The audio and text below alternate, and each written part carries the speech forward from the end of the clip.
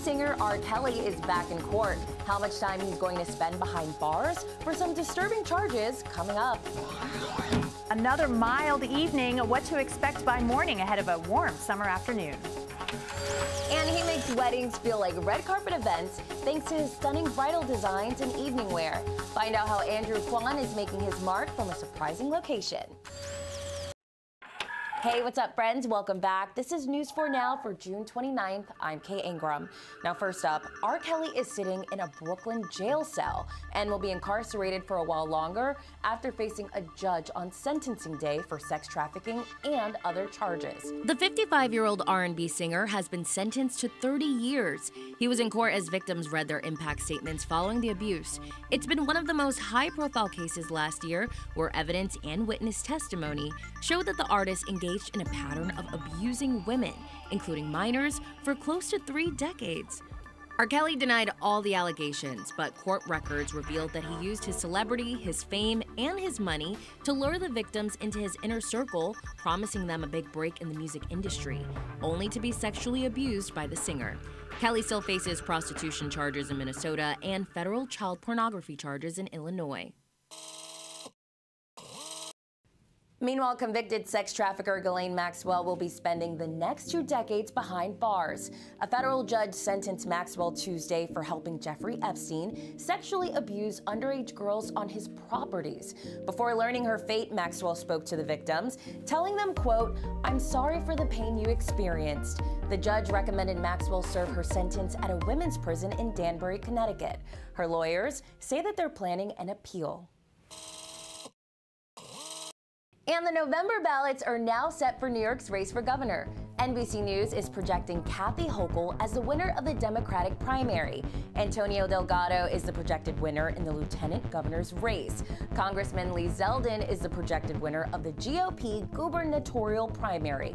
His running mate will be former New York City Police Commander Alison Esposito. There's a war of words going on after Mayor Eric Adams said that former Mayor Rudy Giuliani should be investigated for filing a false police report.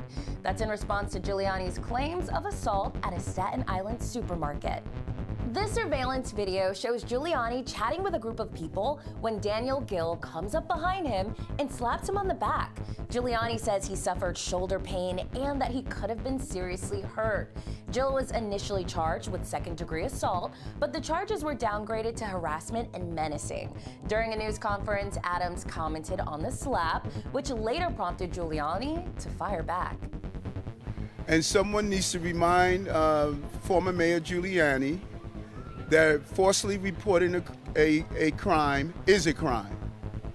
And from what he stated about being punched in the head, um, felt like a bullet, you know, what he stated, that was a lot of creativity.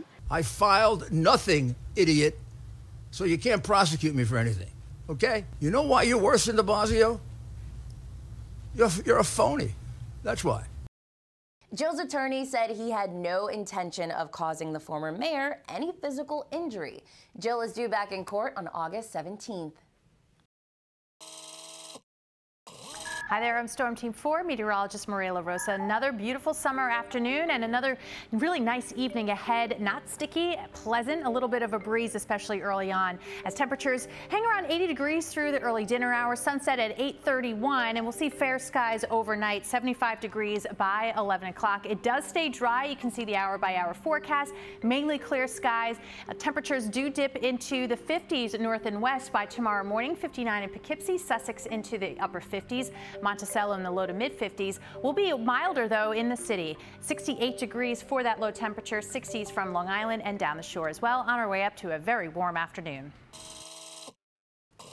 Now, with summer wedding season in full swing, one New York designer is rolling out the red carpet for brides each and every day. New York Live met up with Andrew Kwon for a tour of his surprising studio and a look at two very special fittings.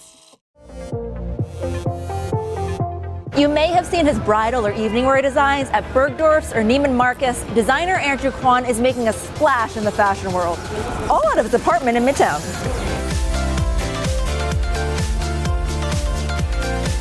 Hi, how are you? Good, how are you? Welcome. Thanks for having me in your design studio, but also your apartment. Yes, both. Okay, I'm gonna, we're gonna do a little tour. I'm Yes, excited. we are. Tell me a little bit about your line. Red carpet has been a huge dream of mine. So what better way than bringing red carpet to bridal and creating those red carpet moments for bride. Two of your dresses were at the premiere party for And Just Like That, the Sex and the City revival, so I need to see those. We had these two dresses featured. This green is a modern take on my signature skirts and my collections. And the yellow is inspired from the hills of Provence and the sunlight hitting down. And I think yellow really symbolizes a new day. I have some clients coming in and we could do a fitting and I'll show you. Oh yes, I want to see the fitting. Awesome. You look beautiful, Grace. Oh my God.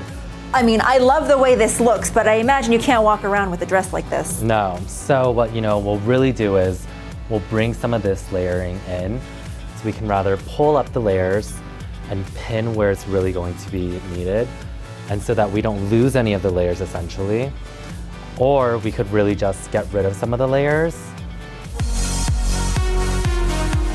So the biggest part of this dress that is going to be so important is what I call a red carpet ready train.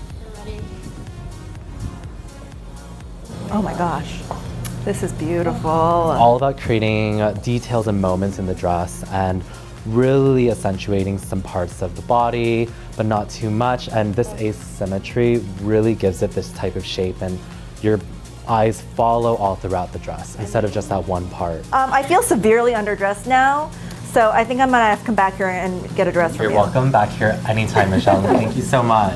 Thank you. And a New Jersey family is pleading for threats to stop at their home. They're getting an influx of threatening packages sent to them, all addressed to Supreme Court Justice Samuel Alito. Problem is, he doesn't live there anymore. News 4's Melissa Colorado is in West Caldwell with the story.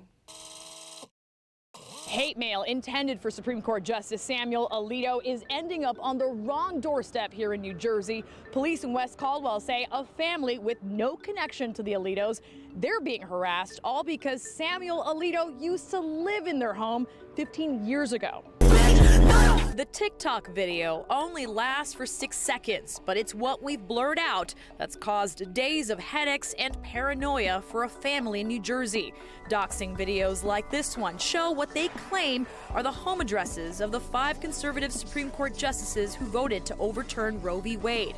But in the case of Justice Samuel Alito, the video has his old address, and now police say the family that lives there is paying the price. They have nothing to do with whatever's going on all this political stuff.